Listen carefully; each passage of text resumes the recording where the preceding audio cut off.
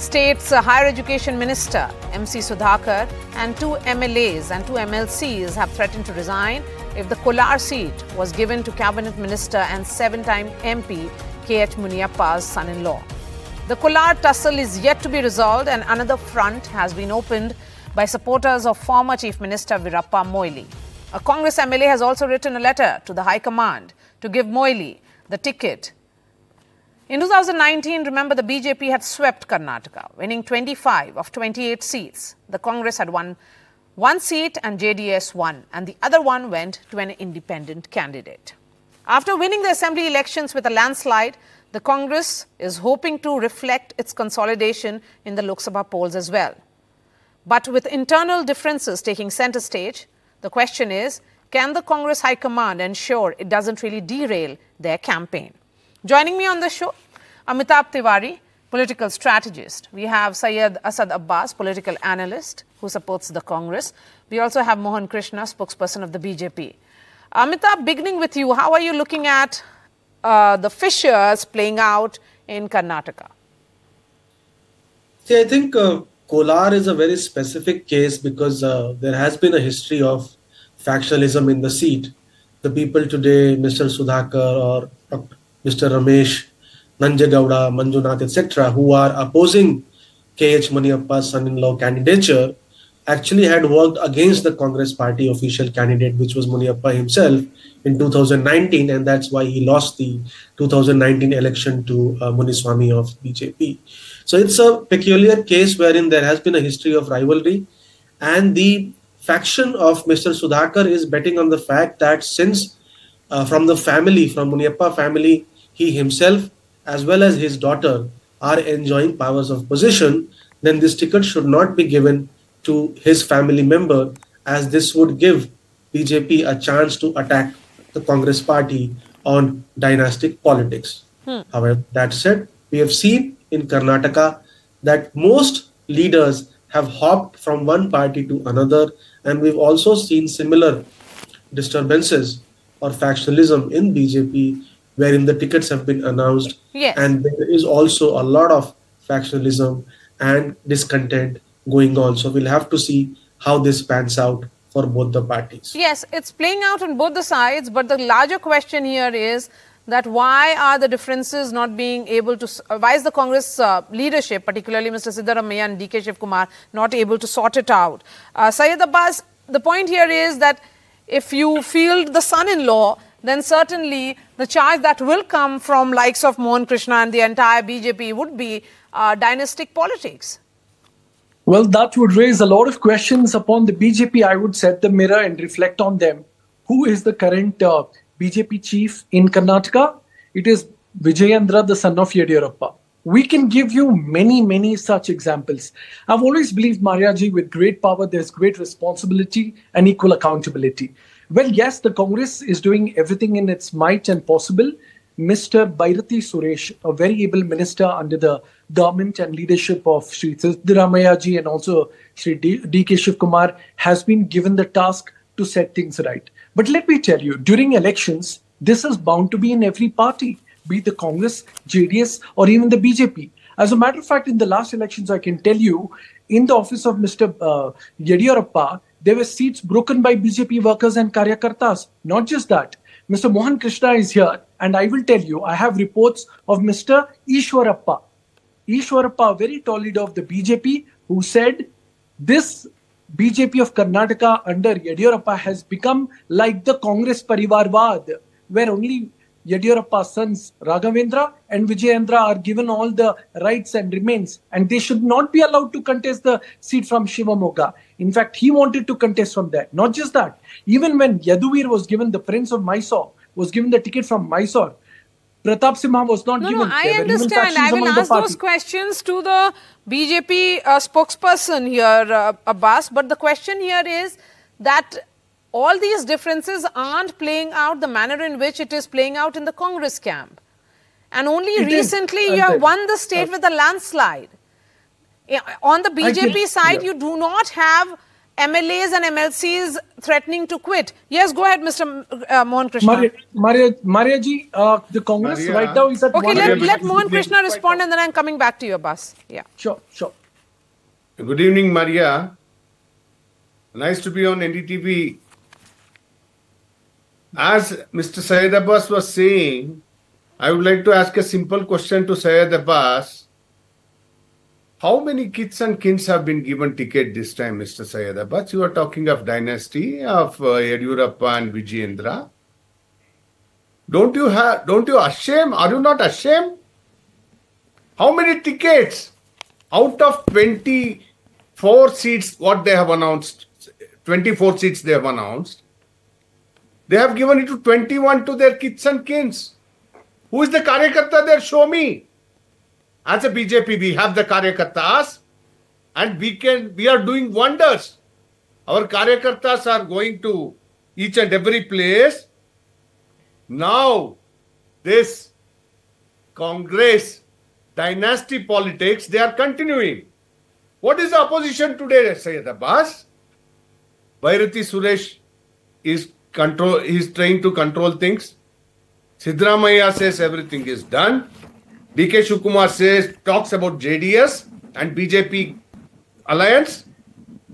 What's happening in your house? Are you explaining to the people of the country and people of Karnataka? If you allow me, sir, I will explain. No, no, please, please. If you allow I have me. listened to you. Please listen to me. Please listen to me. I am listening to you. Yeah. The first and foremost thing is there there were rumors that ministers were supposed to to be the candidates for the Congress. Why they have denied it? So, you know, I, I I think Okay, the time allow- allow is here for both the parties to look within. But Amitabh Tiwari, Oh, both the parties, both the parties, uh, Marya, I will not accept it. No, Both but the you have to also- you also have We don't differences which is playing out publicly, have a Mr. Mohan Krishna. Karnataka. We don't have Allow it. me to allow me to answer, Marya. Can I please yes. respond? Yes. Okay, Mr. Mr. Mohan Krishna, you know, it's a bit too rich uh, coming from you, sir. Haven't you heard from your own leader, Mr. Ishwarappa? He's called the Yediyurappa's party as a Parivarivad party, be it B.Y. Vijayendra or Raghavendra. So that is okay with you, sir? Two wrongs don't make a right, sir. If you're calling Congress wrong, you are also wrong in giving Raghavendra a ticket. Don't Can you I feel just- ashamed of that? just get 10 Sir, please look into your own party. Can I just also, as a matter of fact, Marya, can you? No, no, no. Don't don't interfere, just sir. I did not. Yes. Mr. I Mohan did Krishna, not I'm coming to you. I'm coming to you. Let Abbas finish his point. Yes, go ahead. Allow me to finish my point, sir. Ah. Thank you very much. Respected sir, as much as you may try, the people are not fools. The people of Karnataka have given the mandate to the Congress party. On NDTV, let me ask you, is the Operation Lotus on like in Punjab what you've done? Trying to poach up MLAs? Are you trying to do the same here? Let me ask you this question on NDTV. Also, as a matter of fact, the Congress is right now very comfortable in 135 no, no, it's MLAs. not about Even the state take a dozen government out, being on it any will not help you. uh, sticky wicket. What, Abbas, Syed the Abbas? question is Syed that Abbas? after the kind of victory that we saw, wouldn't it have been better that the Congress could have consolidated its gains further by ensuring that it presents a united picture? In which I'll a t- I'll united that, Marya. house is going I'll into the answer. elections. That is the point that I'm trying to make. Marya, and here are veterans I'll of the party. Marya, who are seconds, either not giving up the place that they so you know carefully guarded or they are handing it over to their son-in-laws or or uh, you know uh, that, fa- family members yes mr mohan krishna Marya, it is out and clear now. Congress has got a dynastic politics and people within the call Congress are Yediyurappa's opposing the dynastic sir? politics. Please don't talk. Please don't talk. What do you call Yediyurappa and his son? No, no, no. Please, That's please don't talk. Don't talk. abbas Don't That's talk. not family abbas Don't talk. abbas on Hold ndtv on, we listen do to him. not Listen like to him. this cross talk you have to be respectful towards your co-panelist We're very respectful, ma'am. yes Don't please. worry about that. let mohan krishna finish his point The dynasty politics politics is out and clear in Karnataka today. And that is happening in India also. India India Alliance has got a dynastic person huh. from from the I need not have to explain too much here now. Now the question is the Congress has come to power a year back, not even a year now. 11 months back. Now, what are they doing? If the fissures are there so much, they are running on the guarantee government. How can they assure the people of the country if they are not a, they cannot do it for the state? How can they do it assure for the country? What are the principles? Okay, sir. Now, What I are the you? no no please listen please listen I'm please listening listen to you. Can I get what are what are the things they are giving the guarantee has failed you know what is No, Marya? not. when we were in power Okay, in Marya, can I Karnataka get my Okay, quickly, Abbas, When respond to were that, and then I bring in Karnataka. Amitabh and give him the Yeah, last word. Go quick- ahead. Now let's let's speak on facts, sir. You say you say that the guarantees have failed. I challenge you on NDTV which guarantee has failed. Gruha Lakshmi, Gruha Jyoti, Yuva Nidhi, Anna Bhagya, Shakti, all of them are working. Everything has sir. You are no no no Everything no. Now you're not. No, that's you're more rhet- Marya, can you- rhetorical, Mr. Mohan Krishna. Let, let him finish his point. Allow me to finish. yes, Thank you, yes. sir. Mohan Anna. Namaskara, sir. Dhanyavadagalu. Now, Yes. coming straight to the point, Marya, let me tell you, all the schemes have been working. Hmm. There have been fantastic pro incumbency in the last one year. Be it Annabhagya scheme, be it Mahila Sakhya scheme Gruha Jyothi Gruha Lakshmi Yuva Nidhi all of them been working this has rattled the Bharatiya Janata Party which made Karnataka a communal laboratory sir you Hindu Muslim does work Amitabh Tiwari Amitabh Tiwari do you think हमारी हमारी these are temporary issues and not really tiding problems which can derail the Congress campaign Amitabh, you have to unmute yourself. Yes. Yeah, we will have to see how the Congress party manages this this discontent because there is obviously a DK Shiv Kumar versus Siddaramaiah angle also playing out here. However, said that the implementation of schemes have been decent, except for perhaps the unemployment allowance scheme, which was launched last, and there have been some technical glitches. However, the bigger question is whether people who are beneficiaries of state government schemes are going to vote for the Congress party or give them the due in a national election for a Vidhan Sabha performance or will they wait for the Vidhan Sabha election and then give their judgment? That's one part. Second is BJP is relying heavily on the Modi factor. The Modi factor, which is 33% in the rest of India, is actually 53%, which means one out of every two voter of the BJP in Karnataka voted for the party because of Prime Minister Modi.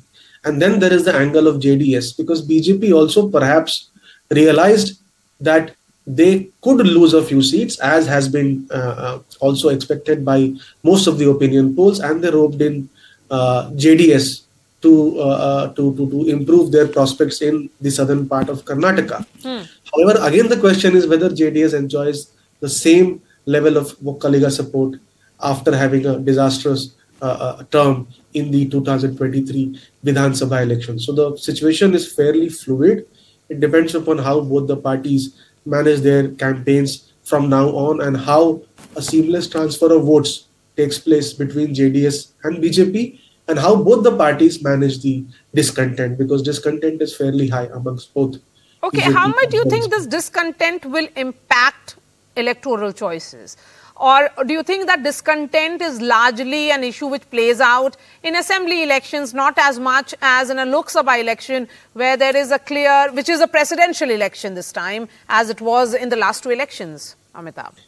Yeah, so as you rightly said, discontent results in rebels contesting elections. But hmm. we've seen that in Lok Sabha elections, because the amount of resources required to contest election is very high, the number of rebel candidates are very low.